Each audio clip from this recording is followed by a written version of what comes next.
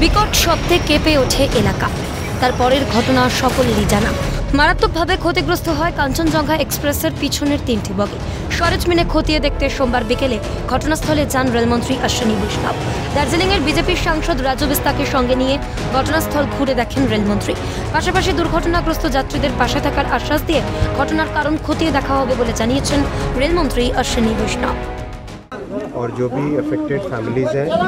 उनके उनके लिए जो भी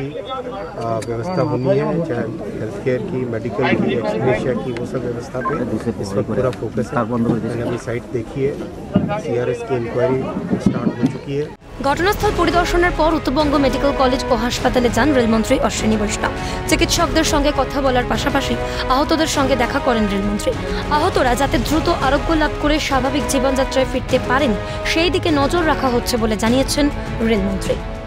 और मैं हमारा सारा फोकस अभी रेस्क्यू और रेस्टोरेशन पे है और किस तरह से पेशेंट्स के साथ भी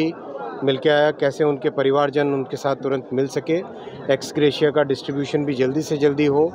और किस तरह से पेशेंट्स वापस अपने जीवन में आ सके नॉर्मल नॉर्मल लाइफ में आ सके একই সঙ্গে খবর পেয়ে ঘটনাস্থল পরিদর্শনে যান রাজ্যসভার বিজেপির সাংসদ অনন্ত মহারাজ আমি যেটা দেখলাম খুব ভয়াবহ কিন্তু এটা ইন ফিউচার যেন না হয় তার জন্য আমরা সতর্ক আছি। ছিলেন অনন্ত মহারাজ তিনি এসে দেখে গেলেন এবং অনন্ত মহারাজ যে বিষয়টি স্পষ্ট করলেন যে রেলের যাত্রীদের সুরক্ষার বিষয়টি আরও কঠোর হাতে দেখার কথা তিনি কিন্তু রেলমন্ত্রককে জানাবেন তেমনটাই কিন্তু তিনি স্পষ্ট করলেন।